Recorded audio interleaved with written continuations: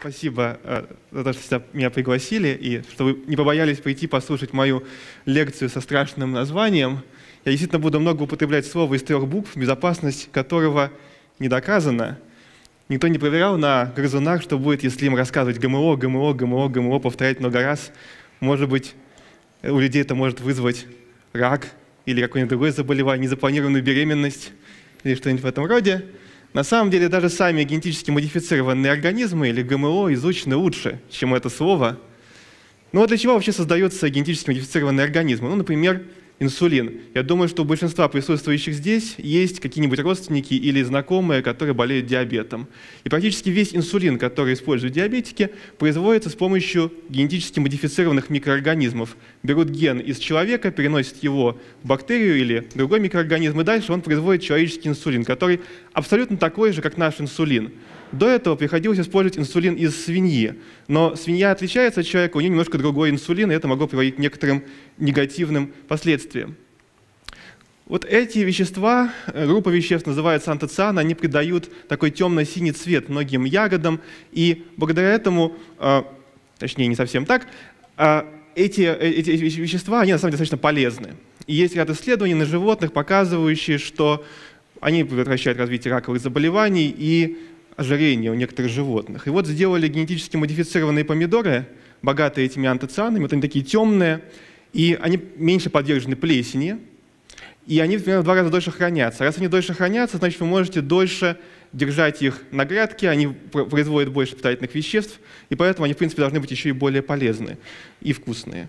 Однако, эм, пока что мы не можем попробовать их на вкус, потому что они еще не вышли на рынок, их еще нету, может быть, через пару лет появятся.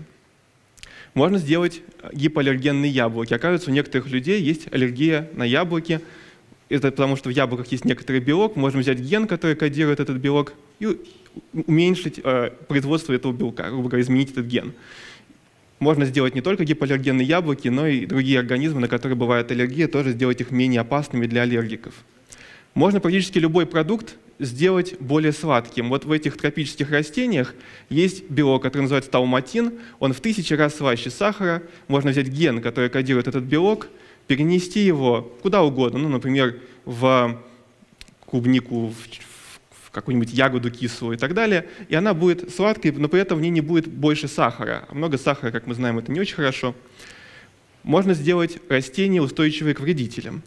Это является альтернативой тому, что мы поливаем поля огромным количеством инсектицидов.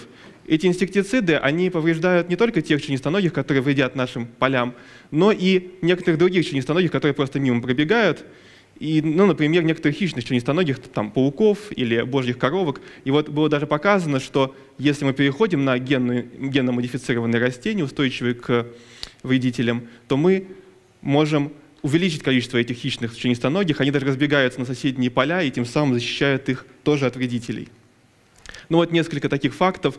Вот эта технология с устойчивостью к вредителям и к гербицидам позволила э, добиться того, что урожайность фермеров увеличилась на 20%, использование пестицидов сократилось на 37%, а суммарные доходы фермеров на 68%. Эта статья опубликована в журнале PLOS ONE, подробности можно узнать в этой статье. Понятно, что вот это уменьшение количества использованных пестицидов не очень нравится тем, кто производит эти пестициды. Есть такая история про экохрюшку. Всем живым организмам нужен фосфор. Хрюшка получает фосфор в виде некоторого корма, и в этом корме фосфор присутствует в большей степени в плохо усваиваемой форме для свиней. В итоге большая часть фосфора проходит через хрюшку насквозь, оказывается в ее экскрементах, они попадают в ближайшие водоемы, и там начинается цветение водоемов, потому что водоросли всякие в этих водоемах, они умеют усваивать эту форму фосфора, там погибает рыба из-за того, что эти водоросли производят всякие токсичные метаболиты, возникает маленькая локальная экологическая катастрофа. Придумали экологически чистую свинью с геном бактерии, которая усваивает вот эти плохо усваиваемые формы фосфора. Казалось бы, ну, собственно, идея была в том, что сторонники, защитники окружающей среды, они скажут, вот замечательная свинка, давайте таких свиней всюду внедрим, давайте мы будем именно их использовать. Но поскольку все боятся ГМО, то, видимо, мы еще не доросли до этой технологии, и проект коммерческой поддержки не получил. есть такая серьезная проблема в развивающихся странах, нехватка витамина А. Вот девушка, наглядный пример, она ослепла, потому что ей не хватало, ей не хватало этого витамина. Оказывается, в развивающихся странах до 500 тысяч человек ежегодно слепнет, и половина из них, к сожалению, в течение года после этого диагноза погибает. Чтобы решить эту проблему, был придуман золотой рис. Генетически модифицированный рис, богатый бета-кератином, это предшественник витамина А – Сначала он был не очень удачный, нужно было съедать килограмм этого риса, чтобы не ослепнуть. Понятно, что это как-то не очень продуктивно. Но потом сделали новую модификацию, которая устроена так, что 75 граммов золотого риса достаточно, чтобы вас не ждала судьба этой девушки, даже если вы живете в бедной стране. А это филиппинцы, которые уничтожают экспериментальные посевы золотого риса, то есть они не были предназначены там, на продажу. При этом эта технология развивалась э, с тем, чтобы быть бесплатной для мелких фермеров – и она вообще могла спасти множество жизней, в том числе на Филиппинах. Филиппины — это один из тех неблагоприятных участков нашей, нашей земли, где люди действительно слепнут из-за нехватки витамина. Ну вот, видимо, люди боятся этого ГМО, и поэтому выступают против. Ну, в России тоже боятся. У нас три четверти россиян честно признались, что они готовы платить больше за продукты, которые не содержат ГМО. Ну и четыре пятых считают, что ГМО вредны и что их нужно запретить. Возникает вопрос, а почему люди боятся ГМО? Пока вы читаете полный список людей, погибших из-за ГМО с указанием их имен, я расскажу вам про ДГМО. ДГМО – дигидрогеномонооксид. Это химическое вещество без цвета и запаха. По данным Всемирной организации здравоохранения, только в 2011 году 359 тысяч человек погибло из-за этого вещества. Его используют для охлаждения ядерных реакторов, в химической промышленности, в производстве пестицидов и ядов. Его сливают в реки и озера, его можно обнаружить практически в любых пищевых продуктах и напитках. В его основе есть радикал гидроксил, который приводит к мутациям в ДНК.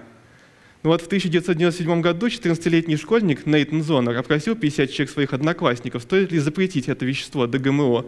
43 сказали «да», 6 сказали «не знаем», и только один догадался, что все это время речь шла о воде. Дигидрогеномоноксид, два водорода, один кислород, H2O.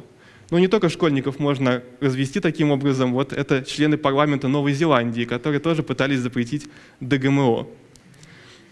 Может быть, люди боятся ГМО по той же самой причине, по которой они боятся ДГМО, потому что они не понимают, что это такое – ну вот был проведен опрос в России. Верно ли, что обычные растения, картофель, помидоры и так далее, не содержат генов, а генетически модифицированные растения содержат? И только 23% ответили правильно, нет. На самом деле гены есть у всех живых организмов, у людей, у бактерий, у растений, у грибов, ну и гены состоят из ДНК. В США был люди в США не сильно, скажем так, более образованы в этом смысле. Нужно ли вводить обязательную маркировку? Провели такой опрос вот, продуктов, а, содержащих, э, созданных с помощью генной инженерии, то есть ГМО. И 82% ответили, что да, нужно вводить такую маркировку. Но тот же самый социологический опрос показал, что 80% американцев хотят ввести маркировку на продукты, содержащие ДНК. То есть те же самые гены. Ну вот тот, кто проводил этот опрос, Джейсон Ласк, а, он прокомментировал, что нужно ввести такую маркировку. Этот продукт содержит дезоксирибонуклеиновую кислоту, ДНК. Беременные женщины имеют высокий риск передачи ДНК своим детям. Я думаю, что если бы вы были производителем каких-либо продуктов, вы бы не захотели такую маркировку вешать на свои продукты, несмотря на то, что это совершенно безобидная вещь, ДНК. Ну, казалось, вы задекларируете, что у вас есть ДНК, да? Путаница вокруг ГМО и не ГМО вот иллюстрируется такой картинкой. Ее часто показывают по телевизору и говорят, смотрите, какой страшный бык, созданный генными инженерами. Он не натуральный, он же ужасен. На самом деле, это селекционная порода, выведенная еще в 1800 году. Она называется Belgian Blue. Она не создана методами генной инженерии, тогда не было даже представления о том, что такое гены. Но вот люди рассуждают на тему, вот натурально это, наверное, полезно, а то, что искусственно сделано человеком, это, наверное, вредно. И это на самом деле логическая ошибка, которая даже имеет свое название, натуралистическая ошибка, и мы сейчас в этом убедимся. Вот смотрите, это список различных патогенов, которые вы можете подцепить из пищи. Кластридии, патогенные штаммы кишечной палочки, сальмонелла, лиштерия, шигела, вирус гепатита А и так далее. Все это совершенно натурально и может вызвать у вас натуральный понос. Ну или смерть, если вам не повезет. И все это не содержит ГМО, все это придумано природой, а не человеком. В 2011 году Была вспышка инфекции патогенной кишечной палочки, 3950 человек заразилось, 53 человека погибло. Оказалось, что виновником является органическая ферма, то есть ферма, производящая натуральные продукты на севере Германии. Речь не о том, что натуральные органические продукты какие-то особенно опасные. Такая история могла бы случиться с кем угодно, с любой фермой, а о том, что натуральные не есть синоним безопасного или полезного. В США натуральными патогенами отравляется 40 миллионов человек в год, более 100 тысяч госпитализаций, более 3 тысяч смертей. Но почему-то все говорят о страшных рисках ГМО, от которых никто не умер, и почти никто в СМИ не рассуждает о том, вот, может быть, нужно обсудить проблемы пищевой безопасности, связанных с отравлениями. Ну, натуральная оспа и искусственная вакцина от оспы. Одна спасла множество жизней, другая унесла, но она, конечно же, одна из них натуральная, другая искусственная, созданная человеком. На самом деле все мы здесь присутствующие являемся генетически модифицированными, suis GMO.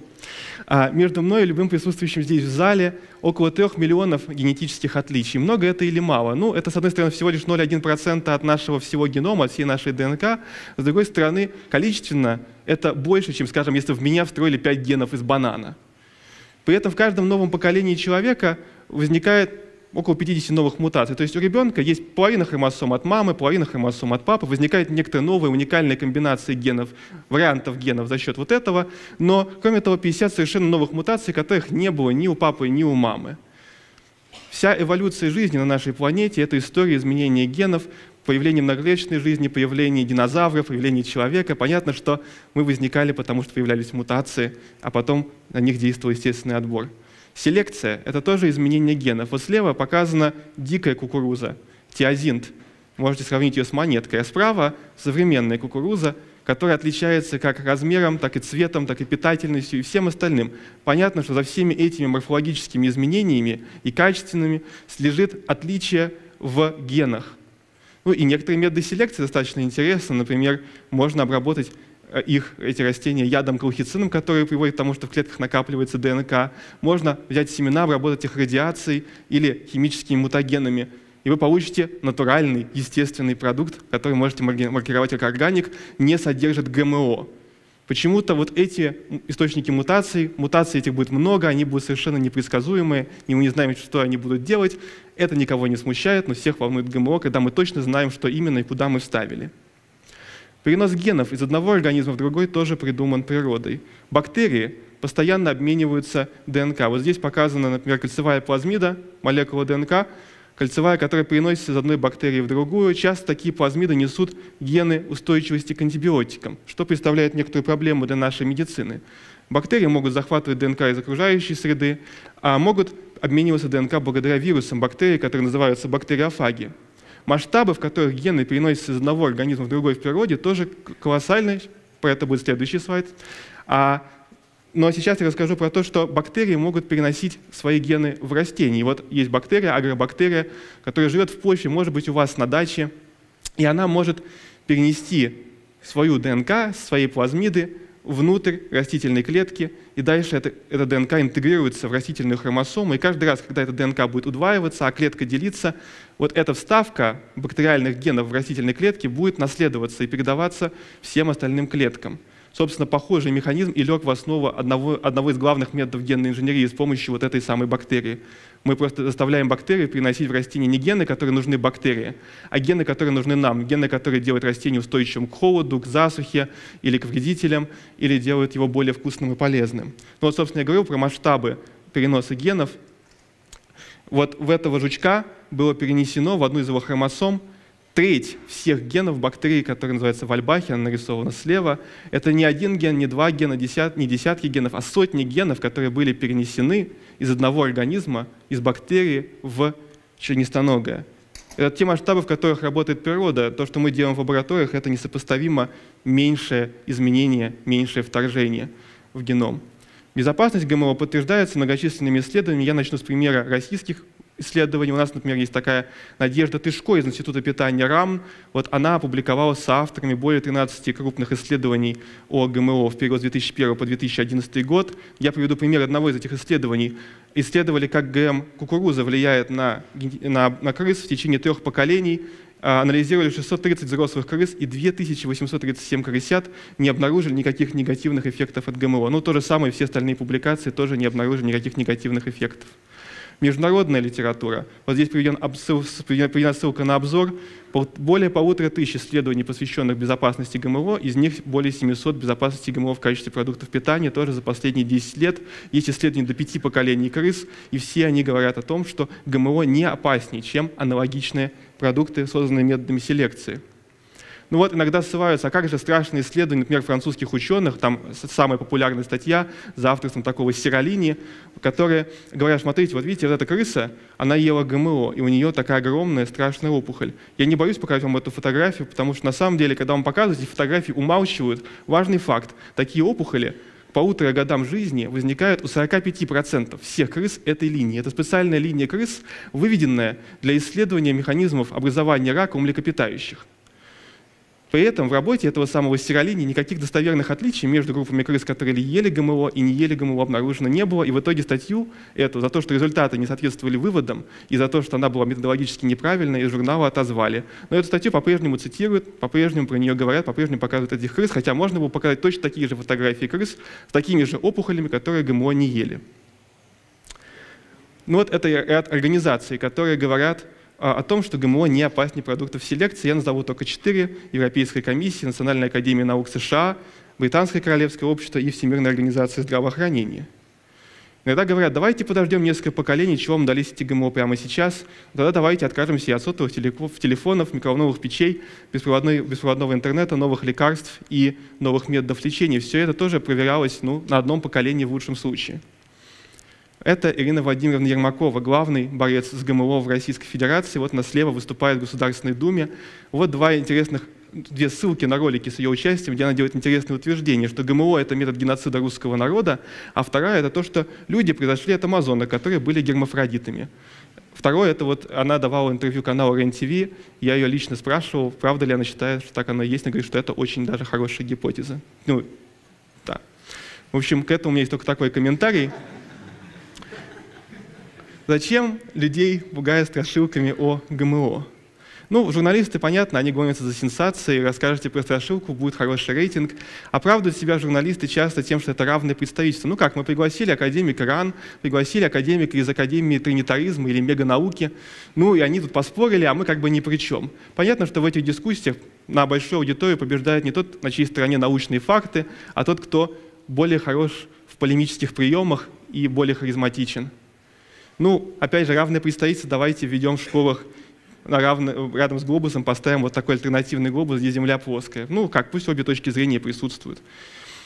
А, возникает спекуляция на страхе и. Вот это вода, которая не содержит ГМО, соль не содержит ГМО, и даже есть презервативы, которые не содержат ГМО люди, запуганные тем, что вот есть какие-то страшные ГМО, покупают эти вещи, не понимая, что, в общем-то, генов-то нету ни в презервативах, ни в воде, ни в соли. Они не могут быть генетически модифицированными. Но люди их будут покупать, потому что они кажутся более безопасными. Безопасный секс вдвойне, да? А злые корпорации говорят, что есть страшные корпорации, которые хотят нас всех уничтожить. И это, может быть, они хотят нас уничтожить, я не знаю, но сравнивают эти корпорации с какими-то одиночными фермерами, которые э, вот сами выращивают натуральные продукты. Но на самом деле битва идет не между корпорациями и фермерами, а между корпорациями и другими корпорациями. Вот здесь показана схема органик индустрии. Это компания, которая производит эти самые натуральные продукты. Там, как вы удивитесь, услышать, что там есть Pepsi, Coca-Cola, Nestle и Kellogg. С одной стороны, продаем Coca-Cola, с другой стороны, у нас есть компания, производящая натуральные органические чаи, натуральные органические соки, пищевые продукты и так далее. Эти компании дочерние стоят тоже миллиарды долларов. Весь рынок органик-индустрии превышает 80 миллиардов долларов в мире. Ну вот эта картинка только для Соединенных Штатов Америки, как рос этот рынок органических продуктов в США. И понятно, что этот рост связан не с тем, что есть какие-то там новые инновации, более качественные продукты, потому что они принципиально отказываются от инноваций. Они говорят, мы выращиваем продукты так, как выращивали наши деды. Это правильно, они так считают. Но на самом деле, конечно же, рост этих продаж идет за счет того, что люди боятся всего, что не натурально, в том числе, по их мнению, ГМО. Иногда ссылается на статью 815 а, ученых против ГМО, вот они подписали некоторое открытое письмо, и там 815 ученых из 82, 82 разных стран. Но Да, там есть среди этих людей ученые, в том числе, может быть, с нормальной научной степенью, но давайте посмотрим на список людей, которые подписали вот эти 815 человек. Рефлексотерапевты, адвокаты, менеджеры, теологи, гомеопаты, веб-разработчики, обеспокоенные потребители, люди, выбравшие думать, натуротерапевты, бизнесмены, производители органических продуктов, исследователи ведических продуктов.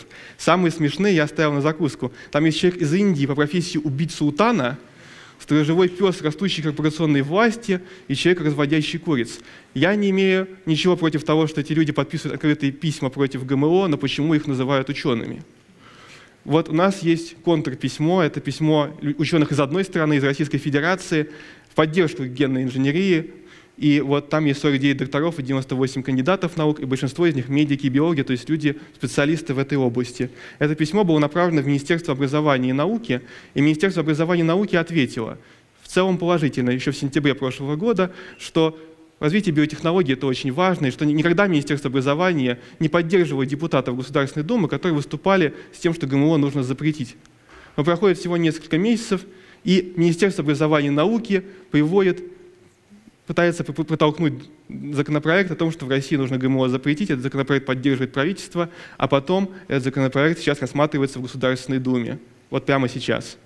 Ну и нужно понимать немножко про этот законопроект, что он не мешает Монсанто, компании, выращивать где-нибудь генно-модифицированные организмы, привозить их в Россию, импортировать. Нет, он мешает нам выращивать генно-модифицированные организмы у себя, свои, например. У нас есть лаборатория, которая производит ГМО. Вот я, как ученый, мог бы сделать какой-нибудь новый сорт картошки, устойчивый, например, к заморозкам, вывести его в Сибирь, и в Сибири его выращивать и производить дешевую продукцию, которой можно было бы кормить население вот на севере нашей страны.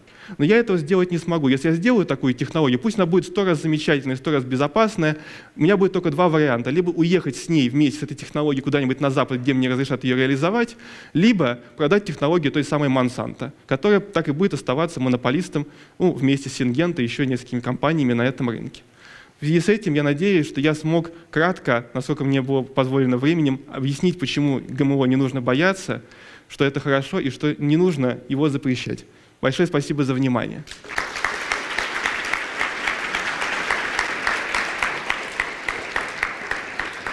Сейчас у нас будут вопросы, но я воспользуюсь своим привилегированным правом и задам его первый.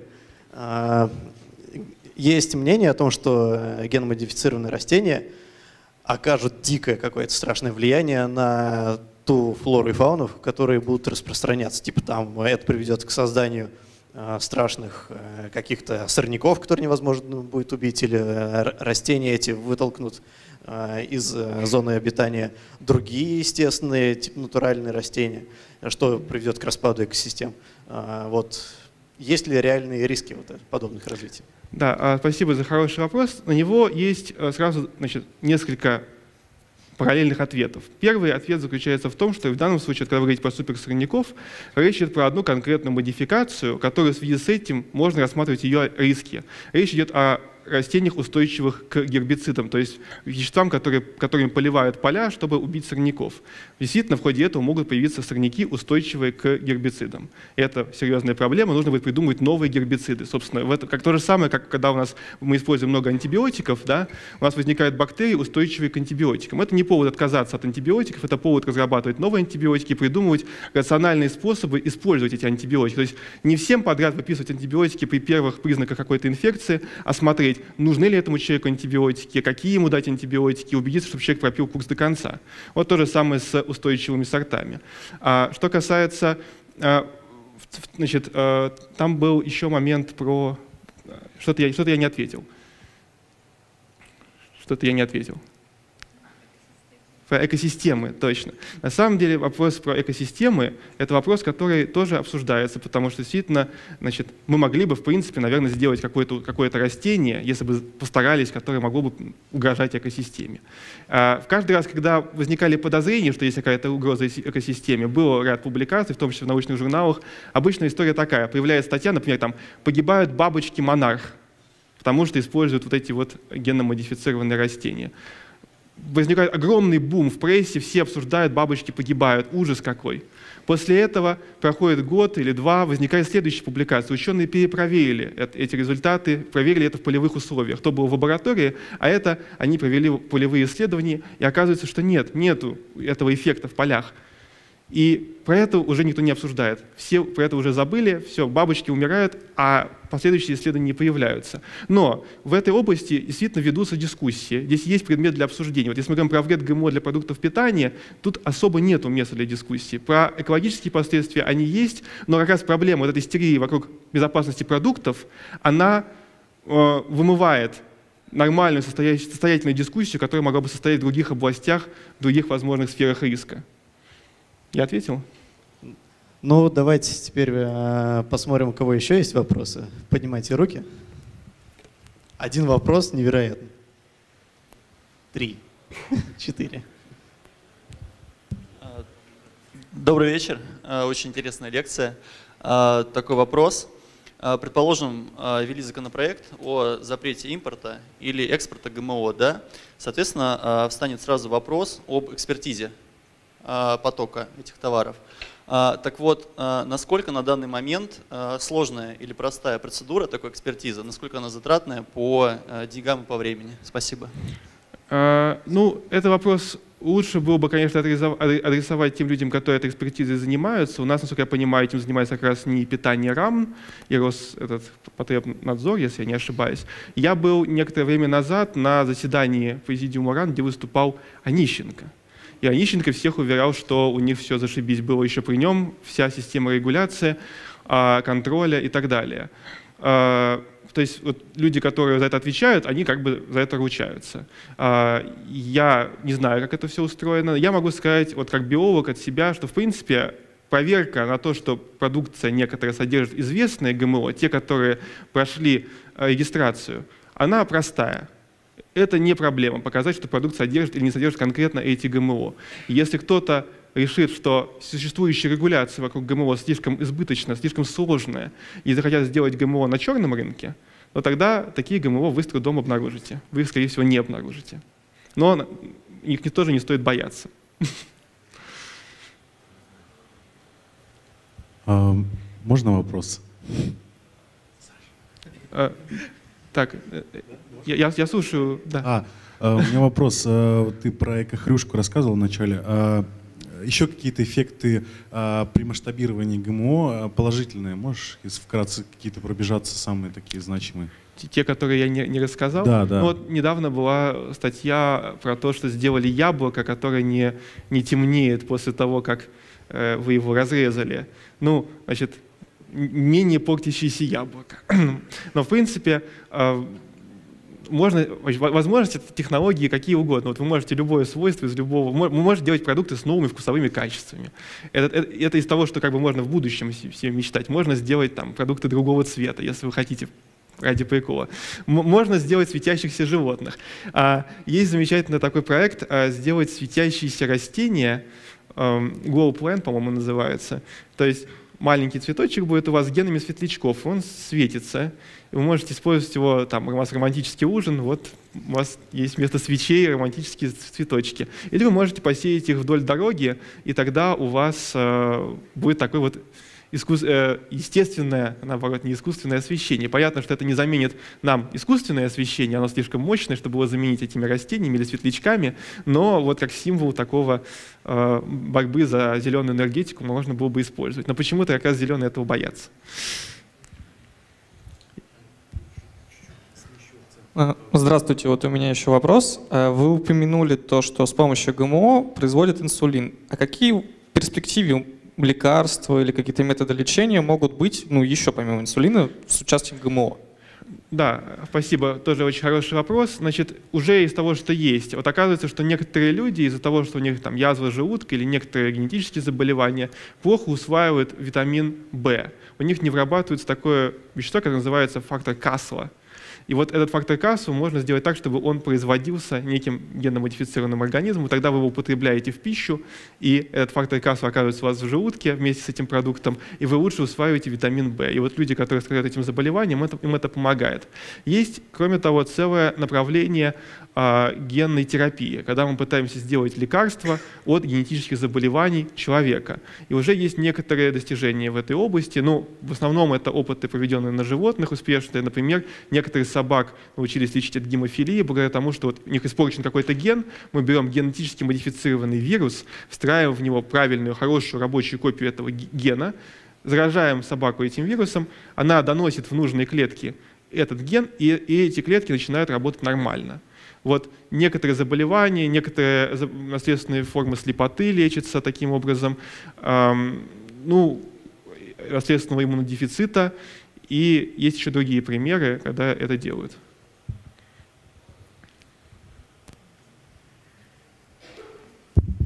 А, здравствуйте, спасибо тоже за доклад. А, у меня такой вопрос касательно вашей картинки, которую предоставили. Вот вы рассказывали про эксперимент, в котором ученые показывали, что кукуруза геномодифицированная не вреднее другого продукта.